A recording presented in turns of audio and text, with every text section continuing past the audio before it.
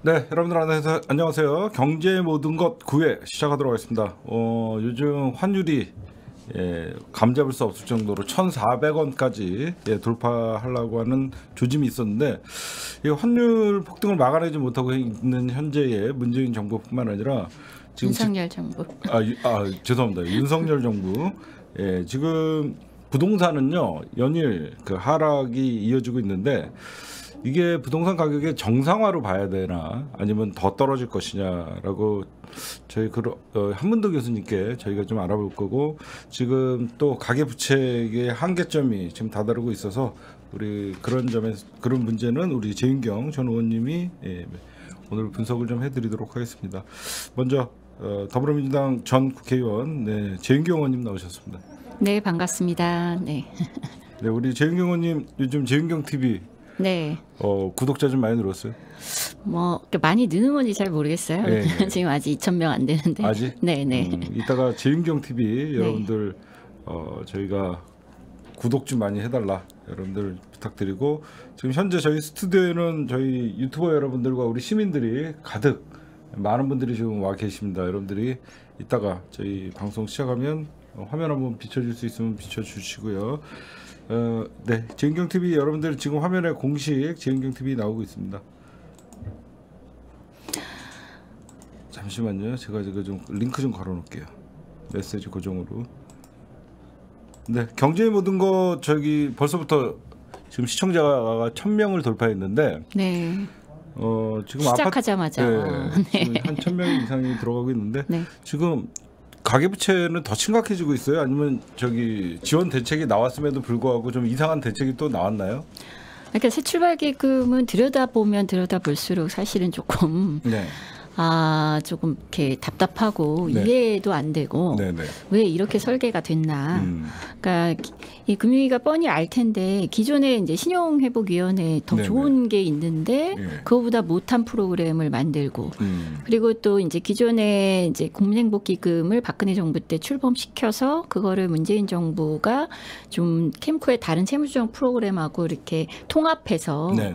어 조금 조금 더 그 이 장기 연체자 분들의 그 채무 원금 감면이나 채무 조정이나 음. 이런 내용들을 좀 다양하게 구성해서 지원을 음. 해주고 있는데 뭐 그거보다도 또 못한 또 내용이 포함이 돼 있어요. 음. 그러면서도 또 공식 그 이제 발표 내용을 보면은 채무 조정에 들어가는 금융사 손실을 그 정부 재정으로 하겠다 이렇게 얘기하고 있어서 도대체 이게 어 채무자들을 위한 프로그램인지 아니면 금융사들을 위한 프로그램인지 알 수 없는 그런 상황입니다. 앞으로 이제 10월 달에 뭐 이런저런 그 이 접수 시스템 구축한 뒤에 본격적으로 접수를 시작한다고 하는데 네네. 좀 걱정이 많이 앞서고 있습니다. 지금 어느 정도예요? 가계부채가 한계점에 올라가는 이유가 그 이자 부담률도 있을 테고 그다음에 그러니까 가장 큰 게 그거예요. 우리나라가 전 세계에서 GDP 대비 가계부채 비율이 1위입니다. 그렇죠. 예, 그러니까 대부분 다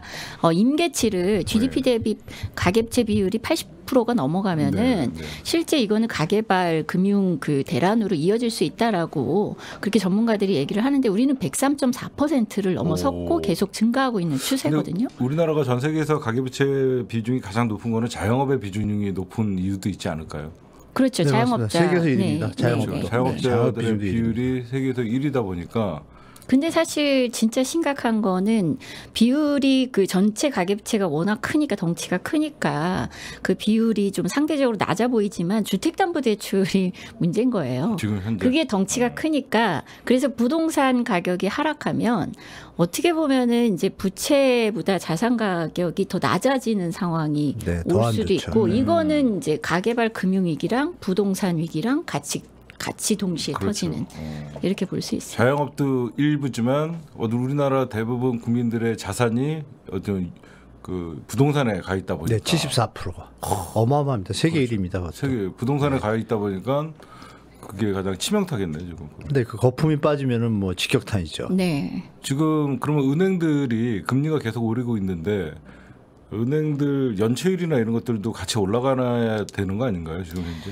그게 그 우리나라가 그 이 금융기관의 건전성 관리가 이상한 거예요. 네. 보통은 이제 부실 채권이 발생하면 선진국은 그 부실 채권을 그렇게 빨리 상각 그 일상적으로 어, 할 수가 없거든요. 네, 보통은 이제 가계발 금융위기가 터졌다. 그러면 위기 시에 대규모로 이런 부실 채권을 조정해서 빨리 음. 어떻게 보면은 은행 안에 있는 이제 배드 채권들, 예, 그 배드론하고 이제 굿론을 구분해서 음. 배드론을 제거한 다음에 굿뱅크를 만들어라.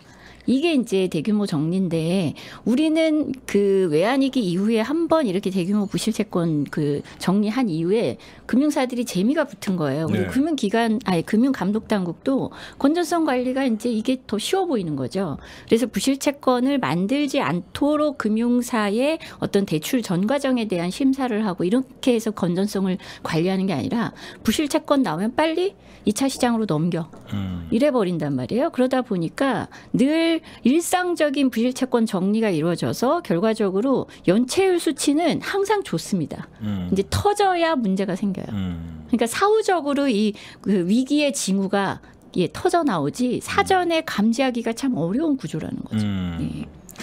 예. 예, 지금 제가 왜 이런 걸 여쭤보냐면요. 분명히 이자 부담이 늘어나고 있는데 그럼 연체율이 올라가고 그럼 은행의 BIS 비율도 떨어질 텐데. 그렇죠. 악성 채권들이 늘어나면 근데 언론에서는 지금 네. 보도가 나오지 않고 있길래 저는 네. 그리고 전 세계적으로 지금 환경도 좋지 않은데 전쟁도 있고 그리고 코로나로 인해서 아직도 그 사실상 폐업하실 분들은 다 폐업했어요 지금 이미. 아, 아닙니다 더 있습니다. 앞으로 아까 폐업 못 하고 예. 영업증만 갖고 있는 버티고 분들이, 계신 버티고 분들. 계신 분들이 있어요. 예. 폐업을 할 경우에는 기존의 어, 기 대출을 전부 상환을 해야 네. 되는 위험성이 있기 때문에 파산이죠. 네. 예, 폐, 태, 폐업도 못하고 버티고 있는 사람들이 있는데 결국은 부동산 이 어떤 법을에 의해서 어, 장기 어, 엄청난 대출이 나갔었고 지금 부동산 가격이 떨어지고 있고 이거를 우리는 떨어진다고 얘기하지만 어떻게 보면 정상적인 어, 추세로 저, 저는 떨어진다고 보지 않고 정상화 예, 과정이죠. 시작. 예. 음, 어떻게 보면 부동산의 정상화 거품이 시작. 꼈던 게 이제 거품이 빠지는 거지 그렇죠. 하락하는 건 아니지 않습니까? 그렇죠. 예. 잘못된 부동산 가격이 이미 책정이 돼 있던 게 말도 안 되는 강남 그렇죠. 20평대 아파트가 20억, 30억 있던 게 예, 예. 말도 안 되는 거. 다 그냥 끌어올린 집값이죠 빚으로. 그렇죠. 그게 이제 빚이 지금 이제 정리되는 단계니까 네. 물론 이제 예, 영세 자영업자분들이나 이제 또 취약계층들은 좀 힘드시겠지만 네. 정상적으로 회기가 돼야 음. 뭐 이자 부담이 그 나머지 이제 무주택자분들이나 이런 분들이 또 다른 가처분 소득을 다른 데 곳에 활용을 한다든지 그래야 또 내수가 또 살아나잖아요. 예. 그 과도기입니다. 과도기라서 어차피 겪어야 되고 연체율이 이제 우리 재영경 의원이 말씀 주셨지만 연체율이 분명히 늘어나고 있습니다. 실제로 음, 네. 늘어나는데 다 아시겠지만 우리가 저금리 때문에 돌려막기가 가능했잖아요. 네, 네. 계속 대출해줘가지고 예. 그래서 연체가 안 일어났던 거지. 네. 돈을 벌어가지고 갚아가지고 정상적으로 이자 부담이나 원리금을 상환해서 연체가 안 늘어나는 게 아니거든요. 네. 그러니까 이게 더 큰 폭탄이 될 수 있는 게 지금 시간이 다 돼가는 거죠. 그래서 아마 20 얼마 안 남았잖아요. 열흘도 안 남았잖아요. 21일 날 일주일 뒤에 미국이 아마 1% 금리 올리면요. 정부도 아마 답이 없는 부분이 이제 발생해서 제가 볼 때는 조금 고통스러운 시간이 시작될 수도 있다고 저는 보고 있습니다. 그럼 미국 연방에서 기준금리를 1% 올리면 미국의 기준금리가 3점 몇이 되는 건가요? 4점 몇이? 네, 2.5에서 3.25 가까이 돼요. 3.25? 네, 네. 그럼 우리는 무조건 3.25보다는 3%는 무조건 넘는 거죠. 넘어야 네. 되면 네. 최하 3.5 또는 3.75까지는 가야지 되는 근데 한국은행 최근에 뭐 약간의 금리 역전도 감내할 만하다라는 식의 얘기를. 아, 그거는 네, 거짓말이죠. 네, 말도 안 되는 외국, 얘기인데. 외국자분 다 빠져나갈 거 아니에요. 그러니까 돈은 그 이자가 높은 곳으로 흐르기 지금도 뭐 많이 빠져나가니까 환율이 그렇게 요동을 그러니까 주식 시장은 네. 지금 계속 연일 파란색을 네. 비춰주고 있고요. 야, 이거 좀 그래 거, 거기에다가 이제 물가는 제가요 사실 저는 제가 직접 뭐 장을 보거나 잘 몰라서 물가에 대해서는 좀 무감각했던 사람인데 이 물가 오르는 건 진짜 체감할 수 있는 것 같아요. 너무 깜짝 놀랍니다 요즘. 네 맞습니다. 오 어떻게 장돈 10만 원 갖고 가고 장 보면 진짜 밥 한 끼 차려 먹을 거. 그러니까 사람들이 외식이 늘어날 수밖에 없는 거. 싸, 사 먹는 게 싸다라는 소리들이 나오고 있고 지금. 그리고 내수는 죽고 있고 스태그플레이션 현상이 벌어지고 있고 거기에다가 환율은 이렇게 폭등을 하고 있는데 환율은 왜 폭등하는 거예요, 교수님? 교수님이 보시기에. 일단 환율 폭등은 간단하지 않습니까? 우리 돈의 가치가, 가치가 우리 경제가 또 앞으로 비전이 좀 발전할 가능성이 있으면 또 이제 가치가 올라가는데 음. 경제 수출 분야도 지금 반도체나 2차 전지 다 중국에 지금 따라잡히거든요. 음. 뉴스에는 좀 안 나오더라고요. 음. 이미 중국이 다 우위에 쓴 입장이고 음. 뭐 파운드리 분야도 사실 우리나라가 아직 준비가 안 돼 있기 때문에 이제서야 가는 입장이고 그러니까 계속 수출이 줄고 있거든요. 음. 그럼 이제 환율이 오른다는 거는 우리가 금리를 지금 안 올렸잖아요. 네. 금리를 안, 안 올리면 글로벌 개념의 금융에서 아까 말씀 주신 대로 돈을 빼갈 거 아닙니까? 네. 그러니까 한국 어 한국이 좀 이상하다라는 심리적인데 출발하는 게 이제 지표로 나타나는 게 이제 환율로 나타나는 거죠. 네. 어, 한국은 좀 위험해. 딴 데 하는 게 나. 미국으로 가겠어. 그렇죠. 뭐 이런 식으로 가다 보면 한국의 돈의 가치가 떨어지게 되는 거죠. 그러니까 환율이 올라가는 거예요. 예. 그러니까 결론적으로 우리가 금리를 올렸어야 되는데 예. 못 올리는 이유가 처음에 말씀 주신 가계부채가 너무 심각하잖아요. 네, 금리를 올리게 되면 정말 어떤 일이 일어날지 모르거든요. 한국은행이 올리고 싶어도 못 올리는 딜레마에 빠진 상태예요. 근데 이걸 가지고 현 정부가 추경호 장관 경제부총리나 뭐 자꾸 뭐 괜찮다 괜찮다 하는데 우리 IMF 터질 때도 다 괜찮다 그랬어요. 터지고 나서 이제 개눈 감축도 사라졌지만 또 현 추경호 경제부총리가 그 당시에 또 실 뭐 업무 담당자였잖아요. 똑같은 얘기 하는 거죠. 그때도 그분은 괜찮다 그랬습니다. 그러니까 이제 준비를 해야 될 것 같아요. 시청자분들은 이 정부에서 하는 얘기를 지금 믿을 상황이 전혀 아닙니다. 왜냐하면 정부가 지금 아, 위기가 올 것 같다고 얘기할 수 없잖아요. 지금 현 신정부의 대통령의 지지율도 낮은데 실토를 할 수 하면 어떤 일이 벌어지겠어요? 더 지지율 떨어지고 정치하는 분들은 표하고 선거가 목적인데 그렇죠. 지금 머리가 그쪽만 계산하실 거 아닙니까? 음. 그럼 지금 그 얘기를 할 수가 없는 거죠. 대비하자고. 네네. 네.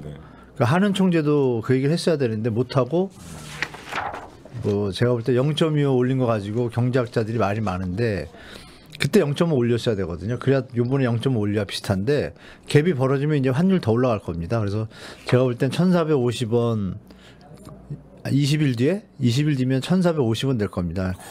무서운 일이 벌어질 수도 있으니까 우리 시청자분들이 현찰 가지고 계시면 잘 보관하시고 투자 같은 건 잠시 보류하시고 이러시면 좋을 것 같습니다. 지금 근데 환율에 그 국가 어쩔 때는 나라가 개입하잖아요. 개입해갖고 환율 방어하다가 어떻게 보면 위안 보유고가 바닥나고 그런 경우들을 봤는데 우리 재윤경 의원님 보실 때 환율의 그 방어의 마지막 노선 요 정도까지 넘어가면 정말 위험하다 그런 게 있나요? 근데 뭐 사실 지금 어설프게 방어하다가 초창 초기에 네. 정권 네. 초기에 그러니까 방어하다가 네, 좀 까먹었죠. 그래서 네. 사실 지금 이제 원 달러 환율만 문제가 되는 건 아니고, 음. 그러니까 그 기본적으로 달러 강세고 전 세계 그 환율이 지금 다 요동치고 있는 상황이어서 네. 물론 이제 거기에서도 우리가 중국이나 일본보다도 음. 조금 더 이제 화폐 가치가 더 많이 떨어지고 있다 달러 음. 대비했을 때 그런 얘기 뭐 그것도 사실이지만 그럼에도 불구하고 지금 뭐 섣불리 방어에 나섰다가 말씀하신 대로 뭐그 이 앞으로의 달러 강세 추세가 어느 정도까지 유지될지 가늠하기 어려운 상황에서 굉장히 위험할 수 있죠 오히려. 음. 네. 그러니까 전그 세계적으로 한계가 있을 수밖에 없을 것 같아요. 세계적으로 달러 풍기 현상이 일어난다 이런 얘기들이 있어요. 그럼에도 불구하고 미국이 어떻게 보면 자기네 나라 물가 안정시키려고 지금 달러 계속 연준해서 금리를 올리고 있고 그 여파가 전 세계로 퍼지고 있는데 미국의 물가도 8%대 예, 예. 인상을 그 미국은 왜 그런 거예요? 미국은 왜 못 잡는 겁니까? 아니 근데 달러 강세가 되니까 그이 미국 입장에서는 물가가 더 오르는 이상한 현상이 벌어지는 아, 거 아닌가요? 아니 그 그건 저기 저기고 저 일단 물가를 안 잡으면요 폭탄이 터지거든요 미국도. 음, 음. 그럼 미국이 폭동이 일어나죠 거기. 거기 그렇죠. 거기는 뭐 네. 눈이 일어나는데 중립금리를 지금 왔다 갔다 하고 있어요 그쪽들이. 네. 자기들도 예측을 못 해가지고 네, 1970년대가 거의 똑같습니다. 그 오일 쇼크 때하고. 예, 예. 그러면 점도표 있다 제가 한번 보여드릴 텐데 지금 원래 저번 달 두 달 전만 해도요 네. 최고 그 상한 금리 선을 갖다가 FOMC 회원 그 저 위원들이 4, 4% 수준으로 서준을 봤는데요. 그게 지금 0.5가 올랐습니다. 두 달 만에. 지금 말씀하신 물가가 안 내려가니까 물가가 2%로 내리겠다고 하는데 지금 8%인데 어느 세월에 내리겠어요. 그거를 길게 보셔야 되는데 우리 시청자분들도 정확하게 이따 점도표 보여드리면 설명드릴 텐데 미국이 연말까지 3.5 올릴 가능성이 높아요. 음. 그럼 1%더 올린다는 얘기거든요. 그럼 요번 달에 1% 올리든지 아니면 0.7을 올린 다음에 11월 회의 때 0.25 올릴 거예요. 근데 물가가 안 잡히면 또 더 올리거든요. 그렇죠. 그러면 연말에 3.5나 4%가 될 수가 있어요. 음. 그러면 한국하고 갭이 2%입니다. 그 상상도 못하는 일이 벌어지는 거예요. 네. 우리가 IMF 이때 환율이 1,700, 1,800원이었거든요. 네, 네. 지금 이 기자들이 기레기들이 좀 문제인 것 같아요. 어. 이 심각성을 보도를 해줘야 되거든요. 네, 네. 1,400원 위험하다. 1,450원이면 정말 우리가 IMF에 준하는 위기 상황이라고 판단하고 정부나 국민들이 대처한다 이런 게 안 나오잖아요. 그런 게 좀 걱정이 되는데 그 우리 시청자분들은 제가 볼 때 좀 진짜 허리띠 졸라맬 준비를 좀 하셔야 될 것 같아요. IMF하고 글로벌 경험이 있잖아요. 그러니까 그걸 하셔야 돼. 2030분들이 잘 모르잖아요. 그러면 기초적인 질문을 하나만 할게요. 환율이 올라가면 네. 수출업체들은 좋잖아요. 뭐가 좋을 게 없는 게 그러니까, 그러니까 기본 예. 개념 그냥 기본적으로 생각할 때 네. 우리 수출하는 때. 업체 우리가 배울 때는 맞아요, 환율이 맞아요. 올라가면 수출하는 업체들은 더 비싼 돈을 받기 때문에 좋다. 네, 근데 수입 업체들은 원자재 가격이 상승함으로 국내 물가에 영향이 그렇죠, 미친다. 그렇죠. 저희는 그렇게 알고 네, 있잖아요. 네, 네.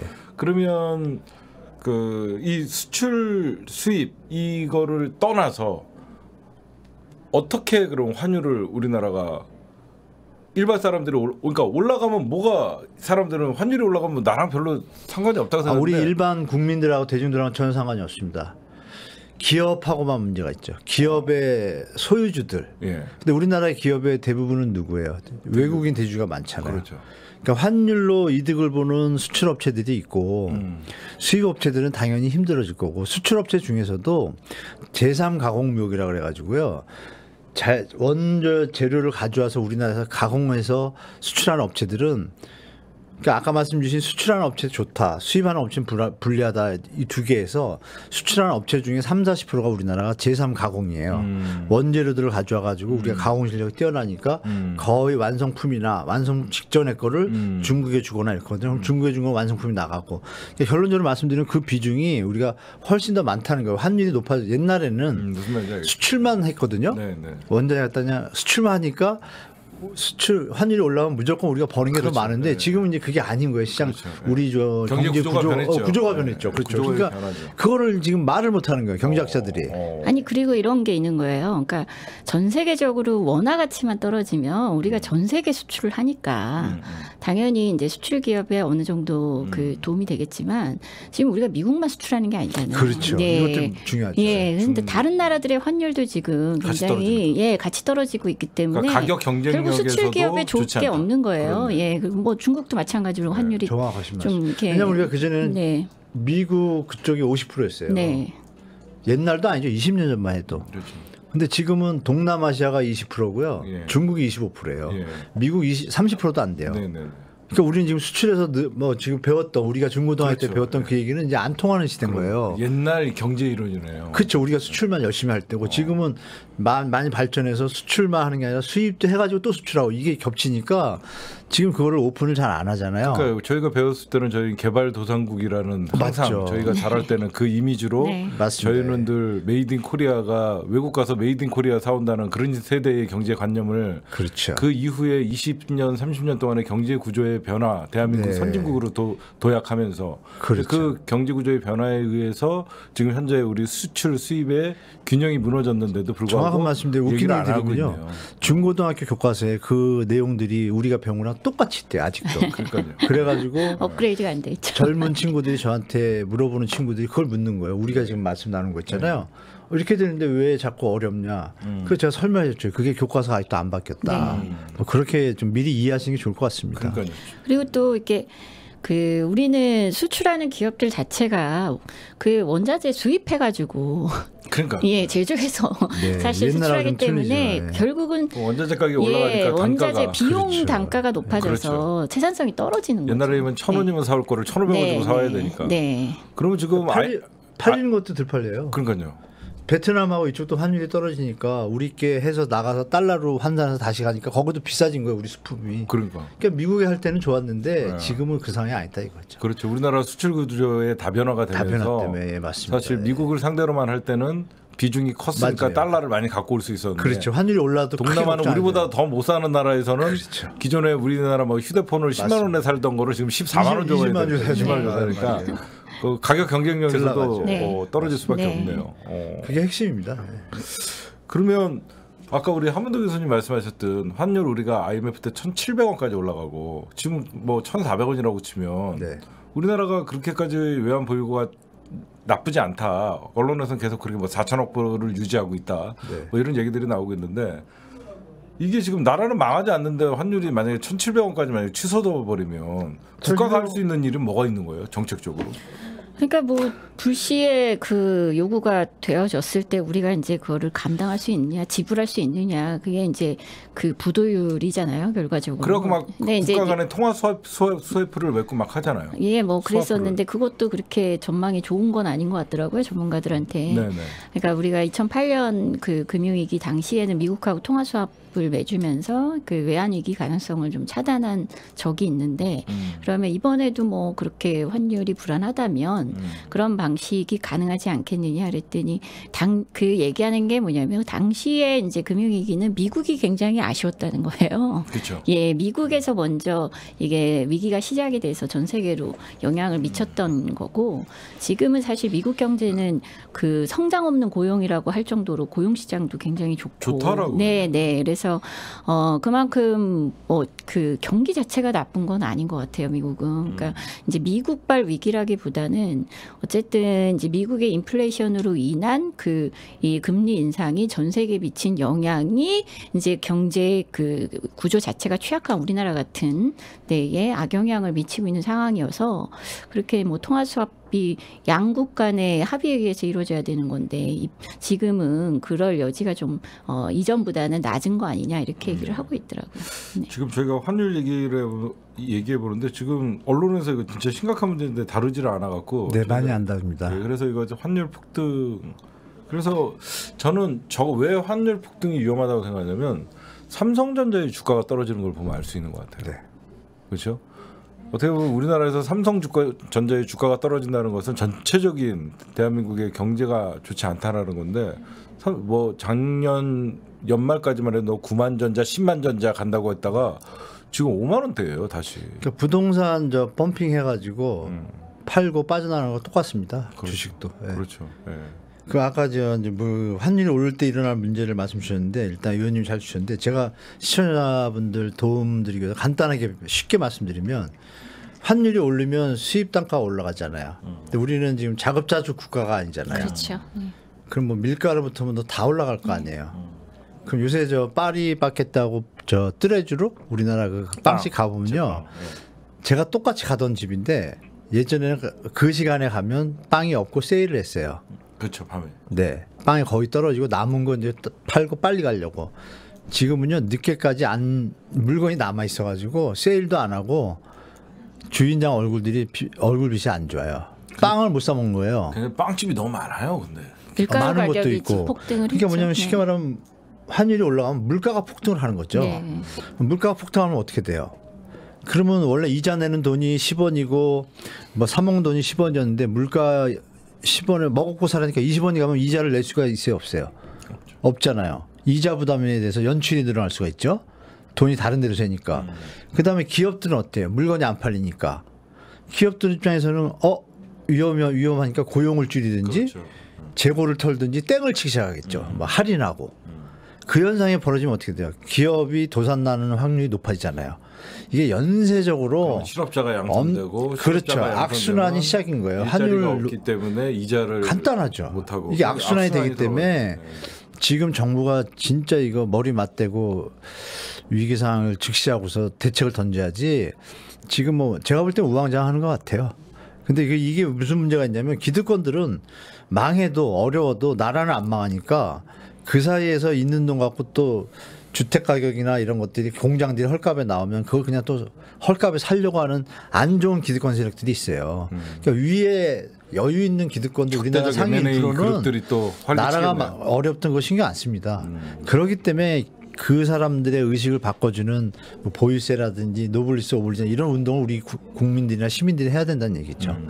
그래야 정신 차리는 거죠. 상황이 이럴 때 참 경제 라인이 또 다 론스타 라인이라는 게 음. 네. 예, 굉장히 웃기는 거죠. 또 이렇게 해먹을 네. 속으로 어려울 때 한몫 챙겼던 사람들이 네. 현 정부의 경제 네. 핵심 주축 라인이에요. 맞습니다. 네. 너무 제가 그 며칠 전에 국회에 가서 이제 가계부채 문제 때문에 이제 네.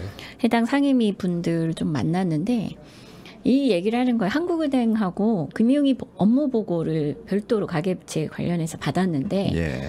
너무 건전하다고 얘기한다는 거예요. 그 한국은행에서 와서 그래서 음.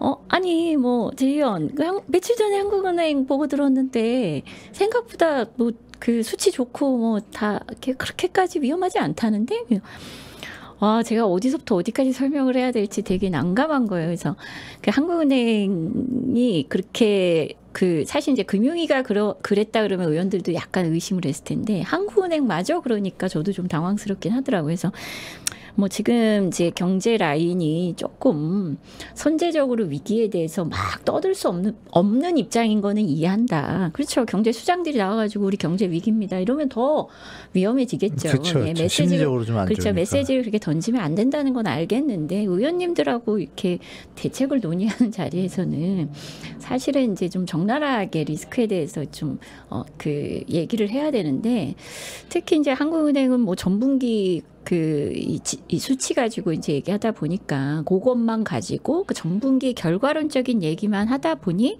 뭐 그때는 괜찮았다 뭐 이런 정도의 얘기일 거다. 그거를 위험하지 않다 이렇게 말하면 만약에 위기가 터지면요. 네. 민주당 제가 이제 집권 다수당한테 바라는 바라는 게 뭐가 있냐면 집권 다수당이 아니죠 저. 집권 여당. 국회 다수당. 네, 국회 네, 다수 네. 바라는 게 뭐냐면 경제 위기를 충분히 예방하거나 그 피해를 줄일 수 있음에도 업무를 방치해가지고 키우거나 그렇죠. 네. 이런 게 있으면은 중미 직무유기로 외국처럼요. 네네. 네. 미국은 다 20년 100년 막 때렸잖아요. 네. 우리나라 그게 없잖아요. 그런 법을 좀 만들었으면 좋겠어요. 네. 그러면은 아마 조금 정신 차리고 좀 국가의 개념에서 돌볼 거예요. 자기들의 뒷주머니보다는 저는 그렇게 봅니다. 론스타처럼 그런 일들이 그 네. 딴 주머니 차고 크게 한몫 해먹으려고 하는. 근데 지금 준비 중인 건 다 소문나 예, 있습니다. 그거를 어쨌든 국회에서 어떻게든 좀 잘 잡아냈으면 좋겠는데. 해야죠. 있을까 뭐 이런. 지금 어 실제 그 이번 9월 21일 날 미국 연준에서 금리를 올리면 현재 주택 담보 대출이 6%인가요, 우리나라? 지금 상단은 8%고 네네. 네. 신용 좋은 사람들은 5.8에서 6.5 정도.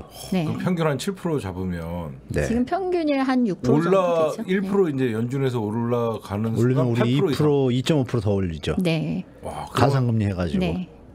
그럼 오른 10% 가볍게 넘죠. 그러면 작년에 비해서 거의 한 어, 세 배가 오른 겁니까? 한 3%대 받던 세 배가 뭐네 배죠? 세 배가 아니지 네배 정도 되죠. 와, 그럼 한 달에 이자 부담 100만 원 했던 사람들이 400을 내야 되는 네, 거죠? 네. 일단 기본 아, 신용이 아주 좋은 분들은 두 배가 두 배에서 두 배 반 내실 거고 중간 분들은 한 세 배 정도 낼것 같고 안 좋은 분들 뭐 제2금융권 가신 예, 예. 분들은 거의 뭐 그러니까 위험하다니까요. 제가 눈이 그러니까 작년에 그 7, 8월 이후부터 이제 금리가 올라왔잖아요. 그러니까 7월까지는 뭐 거의 0.5%니까. 네, 그렇죠. 사실 주택담보대출이 1%대인 사람들이 꽤 있었어요. 그렇죠. 그러니까 이제 그런 얘기를 하는 거죠. 그러니까 주담대가 세상에서 제일 싼 돈이다 이런 얘기까지 네. 했어요. 1%대면 공짜다라는 네, 소리가 있었어요. 그러니까 비, 돈을 안 빌리는 게 바보다, 바보다. 이렇게 네. 얘기할 정도였는데 그때 당시에 5억을 빌렸으면은 뭐그일뭐한 2%가 안 된다 그러면은 음. 제가 아는 분도 그 얘기 하더라고요. 자기가 5억을 빌려서 집을 샀는데 월 이자가 60만 원이다. 이 얘기를 했는데 2.5% 2.5% 정도 돼요.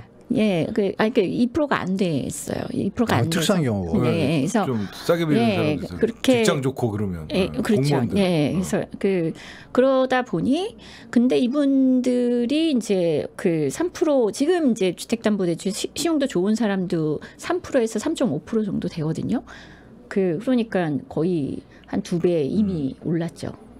그리고 이제 만약에 실제로 그 기준 그분들이야 능력 있으니까 좋은 조건으로 받을 사람들이라서 그냥 제가 보면 큰 문제는 아닌데 일반 시민들은 그, 그 당시면 0.75일 때 3.5, 3.3% 정도 받다가 지금 거의 10% 가까이 내려고 하니까 취약 지역이 가장 위험한 거네요. 그러니까. 지 금 우리가 말씀 나누신 거는 고정금리잖아요. 그렇죠. 변동금리는 그땐 더 조금 더 쌌지만 지금은 훨씬 더 비싸잖아요. 네. 근데 변동금리로 대출받은 분이 75%예요. 네. 이게 이제 폭탄입니다. 네. 이분들은 고정금리는 그냥 그대로 있잖아요. 네. 올라가도. 변동금리 받은 분들 2.5% 받은 분들은 정말 지금 제가 실제 그 당, 당사자들 예를 들면 제가 방송 좀 가니까 기자분들이나 PD분들 있잖아요. 작년 재작년에 이제 변동금리 해가지고 많이 받아가지고 마지막에 사신 분들이 있어요. 지금 막 저, 정말 정신 못 차리시더라고요. 그러면 살 때 대출 많이 받으니까 그때는 액수가 적었지만 생활비 계산해서 다 했잖아요. 근데 애기 하나 있는 집들은 지금 둘 지금 난리가 난 겁니다. 애기 비용은 더 들어가고 맞벌이 500이어도 버는 건 그대로인데 예. 이자가 들어가는데 네. 그걸 메꿀 구멍이 네. 없잖아요. 그럼 또 빚을 낼 수도 네. 없잖아요. 지금 난리입니다. 투잡진 됩니다. 잠깐만요. 5억을 대출 받았다. 그러면 네. 이자율이 10%다. 2%면 100만 원이니까 80만 원 5천만 원을 1년에 나눠서 낸다. 그러면 뭐 400이 좀 넘는 돈인데 네. 이 사람들은 5억 대출 받을 때 100만 원 정도로 맞고 있었 그러니까 500을 벌어도 네. 살만했는데 네. 그러니까 500을 벌어도 살만했는데 이자 100만 원 띄워놓고 그렇죠. 근데 갑자기 이자가 400이 나가니까 생활이 안 되는 거예요. 펑크가 나는 거죠. 내수가 죽는 거고. 네. 네. 딴거 못 쓰잖아요. 아무것도 못 쓰죠. 오히려 그러니까, 빚을 내야 되죠. 그러니까 내수 내수가 줄고 자꾸 악순환이 시작되는 거예요, 이 자체로. 제가 옛날에 그래갖고 시민들 자꾸 대출 받고 그럴 때 이왕이면 비싸더라도 저는 고정금리하라 그랬거든요. 맞습니다. 왜냐면 고정금리를 하면 지금은 내가 좀 소리를 딴 사람에 비해서 어, 보는 것 같지만 계획적으로 가게를 꾸려갈 그게 가능하죠. 예. 그렇죠? 대처가 가능하죠. 네, 대처가 예. 가능해서 맞습니다. 그런데 결국 야 10%면 심각한데요. 근데 네. 평균 우리나라 부동산 대출이 1인 가구당 한 4억 되나요? 제가 알기로. 4억까지는 아, 4억은 아니고 평균으로 하면 네. 한 8천인가 7, 8천 되고요. 음, 평균 1억이 넘고요. 1억 넘나요? 네. 서울 수도권은 네. 자주 자주 거기서 평균인데 자기 집을 가진 사람들도 있고 무주택자를 빼야 되잖아요. 네. 뭐 이런 거 계산하면 그 수치는 사실 큰 의미는 없습니다. 데이터가 정확히 나오기가 좀 힘들겠네요. 아, 평균에게는 평균의 함정이죠. 어... 그 중에서 그러네. 통계를 잡을 때는 그렇게 다 포함시키니까. 우리가 이제 열, 열 명 있는데 돈이 이렇게 있는데 한 사람이 빵꾸나면 연달아 빵꾸나잖아요. 예, 예. 그러니까 지금 뭐냐면 전체 평균의 의미가 없고 네. 전체 대출 받은 분 중에 한 5% 정도, 10% 정도가 갑자기 문제가 생기면 집들이 어떻게 돼요?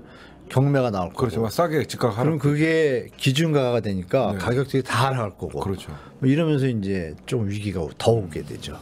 요즘도 아파트 그 뭐 분녀회나 이런 그 소장이나 뭐 이런 사람들이 단합합니까?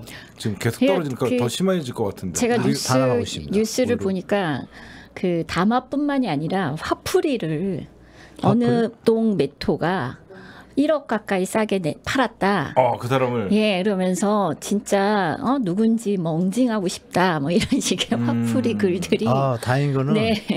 막 올라온다 그 이거 말씀드리면 네. 조금 서울이나 이렇게 뭐 지방에서 좋은 단지들 있잖아요.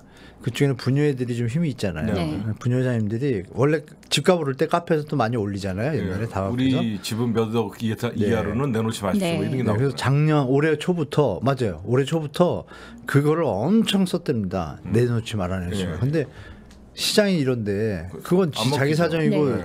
자기 앞에 바쁜 사람이 부녀회장과 관계 없으니까 그냥 팔잖아요. 네. 그걸 하는데 그게 이제 안 먹히는 거예요 시장이. 예. 담합은 열심히 하고 있습니다. 하는데 그 사람들이 예전에는 올라갈 땐 다 같이 했지만 내려가니까 급한 사람들은 급한 사람들은 쳐다도 안 보고 등 돌리는 네. 상태가 돼가지고 네.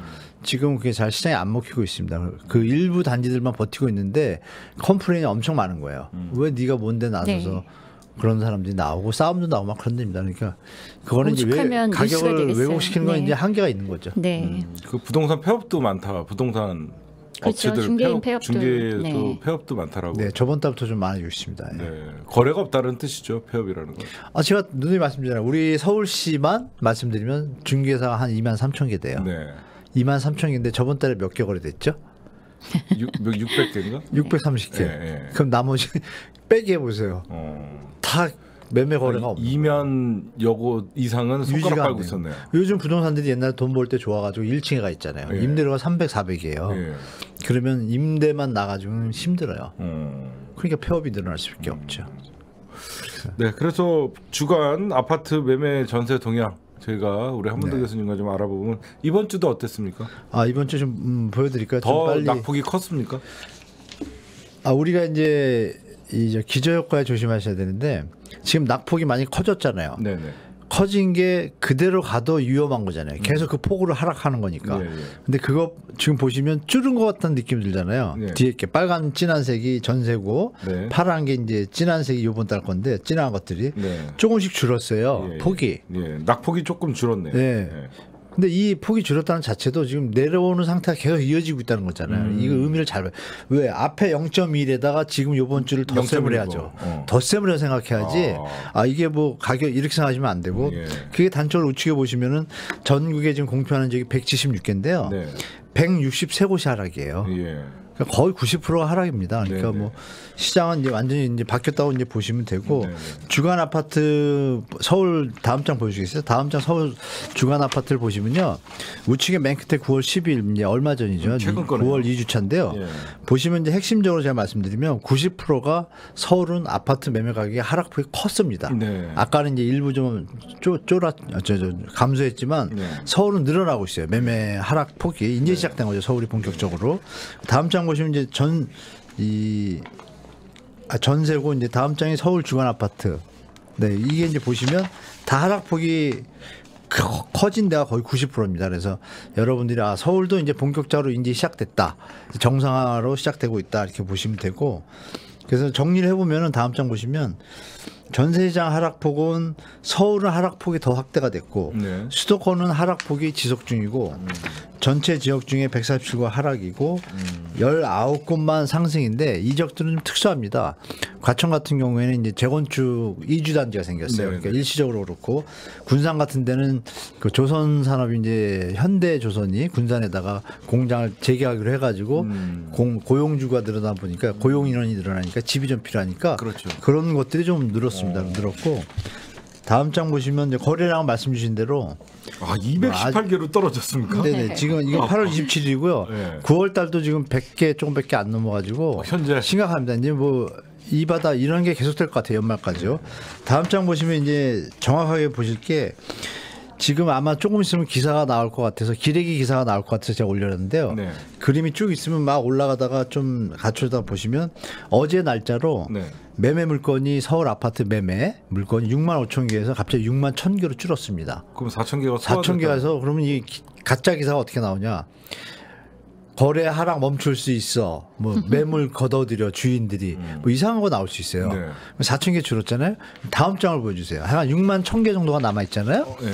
다음 장 보시면 이게 이제 진실입니다. 오. 어. 보시면 총 매물은 늘어났어요. 음. 선으로 된 게 빨간색이 총 매물이요. 아, 매매 전세 월세 다 합쳐서 매물의 그래프는 올라가고 네, 매매 전세 월세 다 합쳐서 그리고 네. 하얀색이 매매예요. 그러니까 네. 좀 아까 말씀드린 대로 좀 꺾였잖아요. 끝, 네. 끝선이. 네. 근데 이제 막대 그래프가 전세 월세거든요. 어, 예. 전세 월세가 어떻게 됐어요? 올라갔어요. 엄청 늘어났죠. 네. 그러니까 결론은 뭐냐면 음. 아. 매매를 내놨는데도 안 팔리는 거예요. 전월세로 돌렸구나. 그렇죠. 저, 아. 역시 빠르시네, 총수님이. 아. 전월세로 물량이 더 늘어난 거예요. 아. 그러니까 여기 매매는 4천 개가 줄었는데 네. 전세는 5천, 6천 개가 드는 거예요. 어. 안 나가니까 집주인들이 급하니까 네, 어떻게든 네, 전세나 월세로 돌려갖고. 그렇죠. 그래서 4천 개를 소화한 거구나. 네, 그래서 가짜 기사를 예방하기 위해서 아. 제가 이렇게 해석을 해드린 겁니다. 음. 우리 시청자분들은 정확히 아시고 그리고 이제 마지막 장인데요. 네.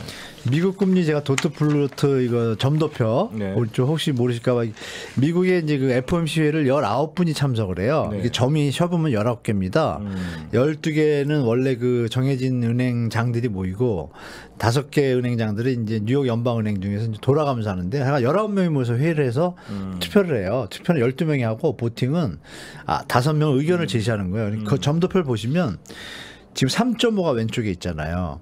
이게 올해예요. 음. 근데 저번 아까 말씀드린 대로 두 달 전만 해도요.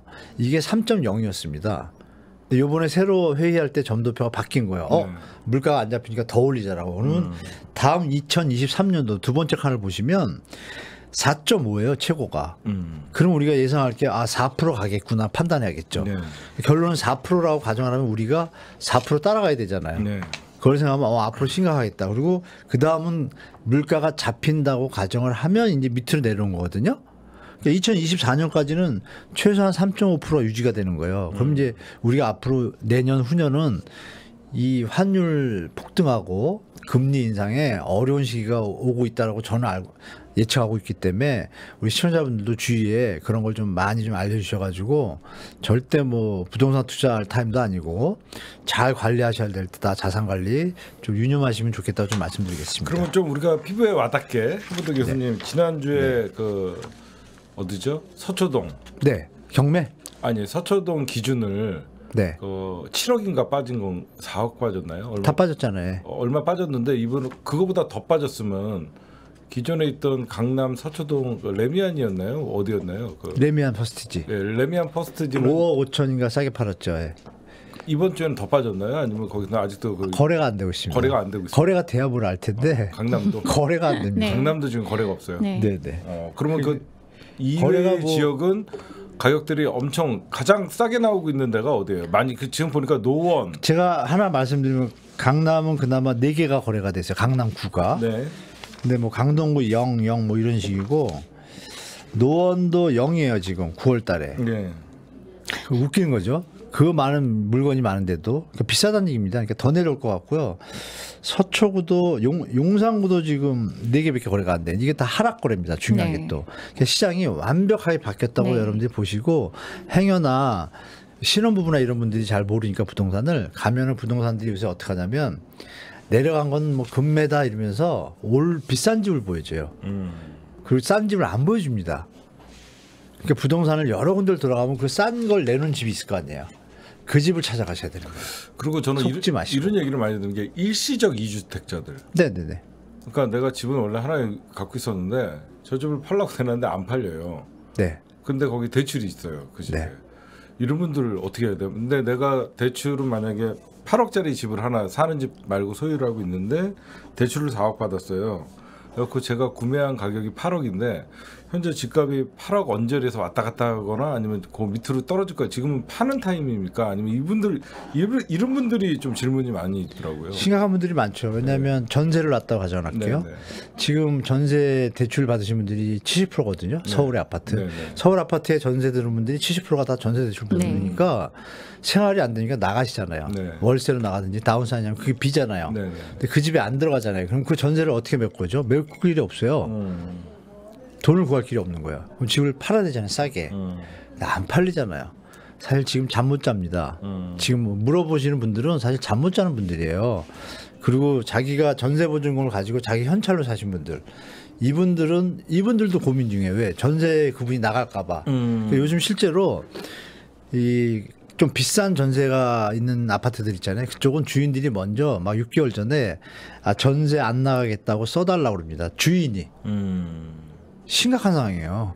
그러니까 지금 뭐 행여나 뭐 여기 아까 과천 이제 일부 재건축 때문에 이주단지 때문에 잠시 오른 걸 가지고 또 기레기들이 막 그것만 어요 네. 실제 상황 제가 지금 말씀드린 대로 우리나라 금리하고 소득 수준하고 다 계산해 보니까 음. 현재 부동산 가격의 부동산 전세 보증금을 감당할 세대 수가 거의 없어요. 네. 너무 올랐기 때문에. 네. 그러니까 결국은 조정 거칠 수밖에 없다. 야, 그러니까 좀 기다리시라 좀 말씀드리겠습니다. 그러니까 그 노원에 뭐 몇 달 전에 이렇게 막 반값에 나오고 했던 것들이 그렇게 일시적 이주택자들 네.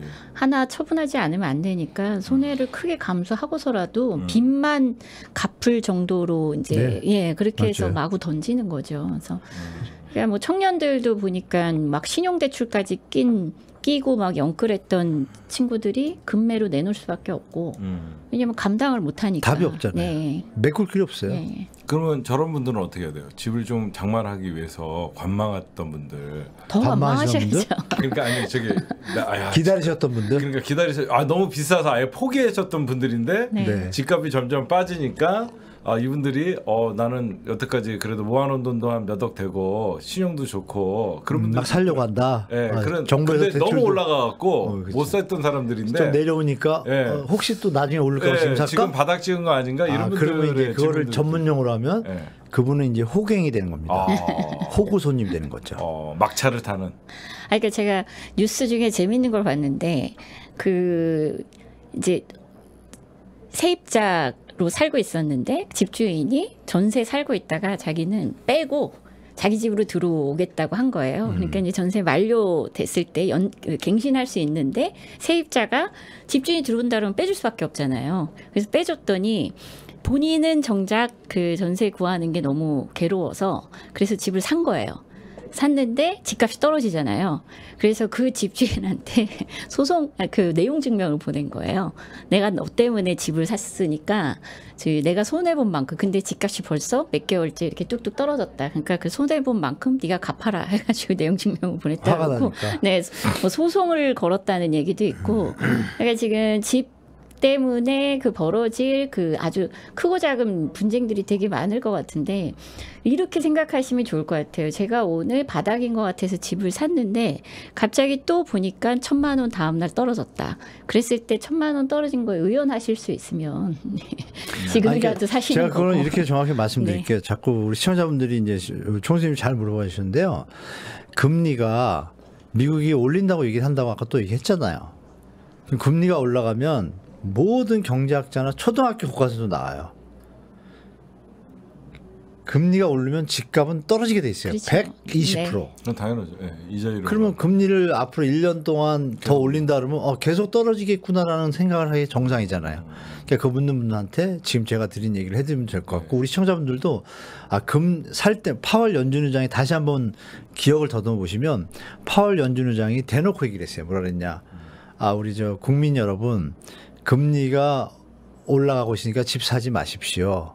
바보 되니까 음. 바보라는 소리 안 하고 금리가 내려갈 때쯤에 생각하시고 그때 신중하게 구매하십시오 그랬단 말이다.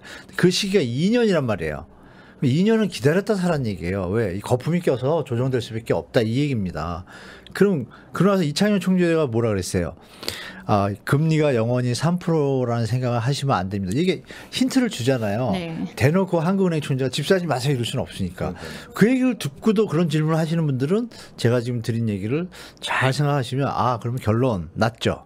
아, 미국이 물가가 잡히고 금리를 내리는 때 그때 생각하고 사, 살아가셔도 어. 늦지 않다. 아무리 우리가 생각해도 미국의 네. 달러 패권은 무시할 수 없으니까 미국이 아, 어느 정도 물가를 잡았다고 생각하는 순간 미국의 달러 연준에서 금리를 내리면 전 세계에게 금리 인하의 신호탄이 되면 그렇죠. 다시 그때 생각하시면 돼요. 그렇죠. 예. 그때부터 이제 조금 이제 다시 경제 활성화 정책을 펼칠 테고 네. 달러를 다시 풀 테고 네. 그러면 뭐 주식 시장 뭐 부동산 시장 다시 살아나면 집값도 이제 회복하니까 신호탄으로 봐라. 네, 네. 아 좋은 말씀이시네요. 저는 오히려 그 저기 한 교수님께 여쭤보고 싶은 게 제가 저한테요? 예 네. 단톡방에 그때 좀 잠깐 여쭤봤는데 어쨌든 이제 주택 가격이 이렇게 하락하는 시기에 담보 대출의 부실 채권도 늘어나잖아요. 많죠. 네, 담보 그 채권의 부실 채권도 늘어나는데 이거를 주로 보통 이제 자산관리 회사들이 매입을 하는데 음. 그 유암코라고 이제 연합자산관리 회사들이 네네. 네. 많이 산단 말이에요. 네. 근데 제가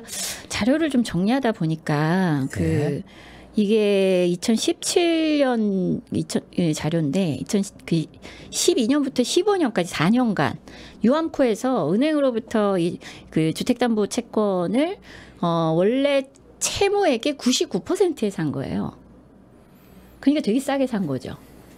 원채무 총채무에? 네, 네. 근데 담보 물도 가져왔단 말이에요.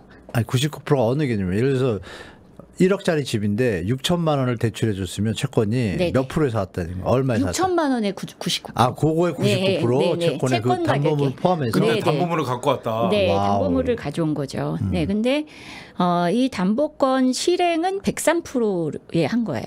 그러니까 채권 가격의 103. 그러니까 1억짜리면은 1, 그 1억 3천이 아니라 그, 아, 1억 3백이 아니라 6천만 원이 빚이 있으니까 그러니까 한 뭐 6,300? 뭐 이 정도의 그 담보권이 실행이 됐다는 거죠. 네. 그래서 그때 이제 평균이 그렇거든요. 그러니까 4년간 그 이 주택담보대출을 유암코가 갖고 와서 네. 그 담보권 실행한 게 103%에 네. 했는데 채권 가격이 사와서? 예. 네.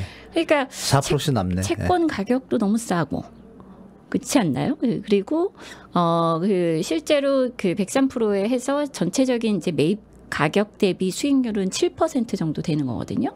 네. 예, 7% 정도 되는 건데 그러면 이 사람들은 주택 가격에 그때 LTV를 저희가 그 분석을 같이 했어요. 그러니까 주, 그 그러면 이 주택담보 부실 채권들이 도대체 빚이 얼마나 껴 있는 건데 이렇게 그 저렴하게 거래가 되고 네. 낙찰이 됐나 봤더니 이게 그 LTV가 70% 되겠죠. 70%안 됩니다. 70%안 50% 미만이 43%였어요. 음. 그러니까 굉장히 싸게 사, 산 거잖아요. 43%가. 예. 그리고 50%에서 70% 사이가 40%.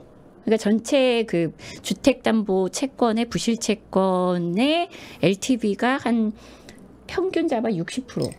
그러니까 1억짜리 부, 그 부실 채권을 6천만 많이 남았다는 얘기를 여쭤보시는 거죠? 아니요 그렇게 그 사실 당시에 그래서 낙찰가율을 알아봤는데 네. 보통 일반적인 주택 시장에서의 낙찰가율은 한 85% 선이었단 말이에요.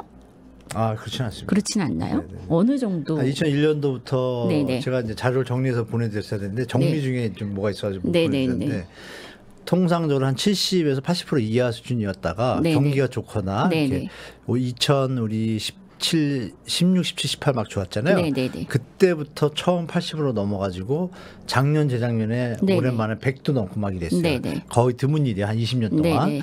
네네. 근데 평균으로 내보면 한 75% 수준이에요. 네네. 그럼 지금 말씀하신 60 LTV가 50, 60짜리면 네. 무조건 다 회복이 되고 돈을 벌 수 있는 구조죠. 그걸 산 그 유암코에서 자산을 무조건 돈을 벌 수 있는 구조죠. 은행에서 유암코에다가 이렇게 안전한 채권을 왜 팔까요? 그, 그 그때 제가 아, 무슨 채권이요? 그러니까 은행에서 안전한 채권이죠. 네. 아니 그 당시에 경매가 최하 70에서 왔다 갔다 한다. 네 맞아요, 맞아요. 63%의 어떤 어떤 빚밖에 없는데 이걸 왜 굳이 자산을 그러니까 서, 민의 서민의 그 좀 유동성 부족으로 이자를 못 내는 거를 악용하는 거죠. 네. 그리고 그 유암쿠라는 회사가 음. 각 은행들이 예전에는 그 부실 채권을 음. 뭐 주권 채심도 넘기기도 하지만 회생 프로그램도 하고 여러 가지 했는데 그거를 하기 귀찮으니까 그냥 넘겼고 넘긴 그 유암쿠라는 그 엄밀히 보면 뭐 MPL 부실 채권 받아서 하는 회사거든요.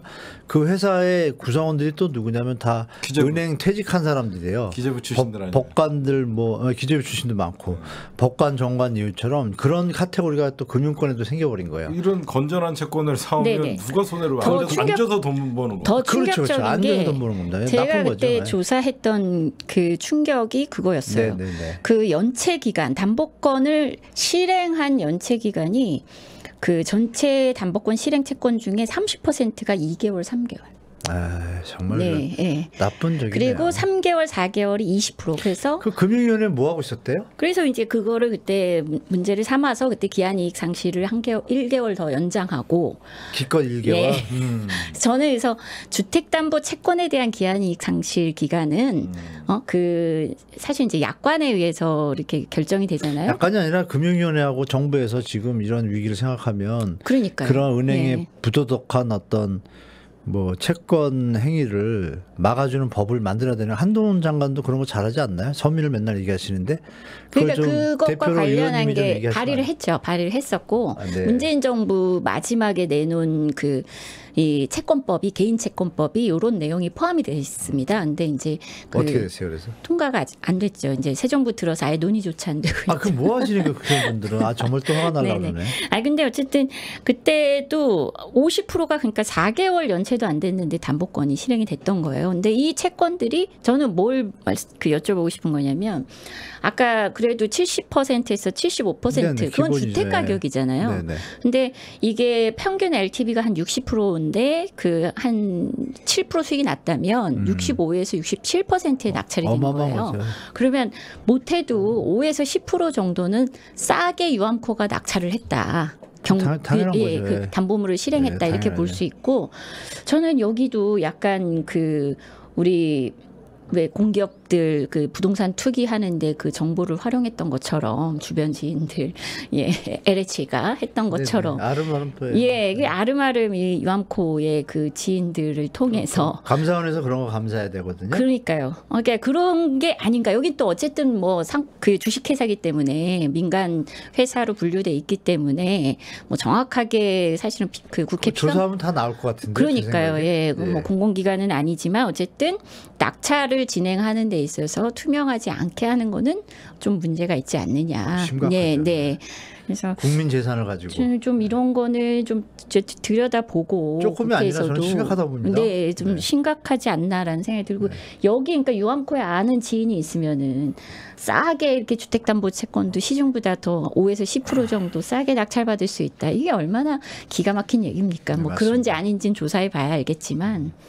그럴 가능성이 99%죠. 예, 그래서 아니 가격을 보니까 그럴 위험이 있는 것 같아요. 네, 안 그럴 수도 있는데 네. 그럴 가능성이 좀 상존하고 있습니다. 네, 그래서 네. 말씀 주신 대로 감사원이 그런 거 해주면 참 좋은데 네. 지금 현 정부나 어떤 형태를 볼 땐 그런 거 관심 없습니다. 그냥 서민들이 힘들던 말던 그런 거보다 뒤에서 뭐 더 챙기기에 좀 연기를 또 잘하죠. 연기를. 우리 저 기억나시면 6.21 대책 때 임차인들 보호해주는 척 하면서 네. 그 투자한 투자하신 분들하고 나쁘게 말하면 투기꾼들을 세금을 갖다가 양도세를 막 어마어마하게 100% 면제를 해주니 이런 플레이를 뭐 여기서도 똑같이 하지 않겠습니까? 그래서 제가 볼 땐 새 출발 기금도 뭐 자영업자들을 위한 척하면서 사실은 손실 부분을 재정으로 감당하겠다 이렇게 얘기하고 있으니까 이런 그, 부분이 네. 문제는 언론인 것 같아요. 네. 이런 부분을 우리 의원님과 저도 얘기하고 있는데 기자분들은 더 잘하실 거 아니에요. 왜 안 쓰죠? 기자분들이 잘 모릅니다. 왜냐하면 거기는 금융권에서 준 보도 자료만 공부를 하니까 정말 그 제대로 된 내용을 잘 기자가? 모르는 거죠. 경제 경제가 어렵다고들 많이 얘기해요. 아. 근데 너무 주, 주로는 뭐냐면 금융권에 출입을 하기 때문에 금융권에 굉장히 친화적인 뉴스들을 자꾸 쓰게 되는 거죠. 네. 전국의 탐관 오리들이 그냥 득실득실하네요. 제가 네, 볼 때. 네. 네. 총수님, 총수님이 좀 탐관 놀이들을 척결해 주셔야겠는데? 제가 척결당할 판이에요. 아, 그게 무슨 말씀입니까? 활력을 많이 우리 청년, 청년 세대들을 생각하면 총수님 그 기운 그 예, 주는 시청자 여러분들의 많은 격려가 있었으면 좋겠습니다. 예, 예. 어쨌든 오늘도 좋은 방송이다라고 하면서 시청자가 낮은데 오늘 한 2,500명 가까이 예, 많은 정보가 유익하다라고 말씀을 해주시고 있는데 음, 저희가 이따가 최 경원님은 4시에 준비되어 있나요? 네네네. 저희가 스트림을 끊지 않고요. 저희가 지금 일부 방송하고 지금 밖에 우리 우리 촛불 행동하시는 시민들도 있고 그래서 저희가 이 방송이 끝나자마자 잠깐 5분 정도 여러분들 나가시지 마시고요. 2부 누가 촛불을 공격하는가 가짜 진보를 말하다라는 어, 프로를 이어서 나갈 거니까 우리 피디님 방송 끊지 마시고 잠깐 턴만 좀 주시기 바랍니다. 마지막으로 우리 한문도 교수님 네네. 지금 구독자 많이 늘고 있습니까? 사람들이 많이 아, 제가 좀잘 네. 관리를 못하다 보니까요. 네네. 지금 현재 계속 늘고는 있는데요. 광고 한 번 해주십시오. 한문도 TV 부동산의 모든 것 열심히 해야 되겠더라고요. 의원님 많이 드셨어요? 아니요, 전 진짜 아, 많이 안 들었습니다. 연세대학교 부동산 네. 금융학과인가요? 정확히 얘기하면? 네네네. 연세대 정경대원 금융부동산학과. 네, 한문도 TV 부동산 채널입니다, 여러분들. 어, 구독자 2.11만 명. 예, 여기 좋은 정보가 뭐 많으니까요. 만단이라서 부러운데요. 아, 여러분들 우리 한문도 TV 구독 좀 많이 해주시고요.